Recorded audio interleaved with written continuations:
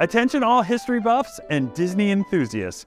Come visit the National World War II Museum's limited time exhibit, The Walt Disney Studios and World War II. Experience the magic of their educational films, character designs, and propaganda that aided in the war effort. From sketches to animations, see how Disney played a significant role in America's fight.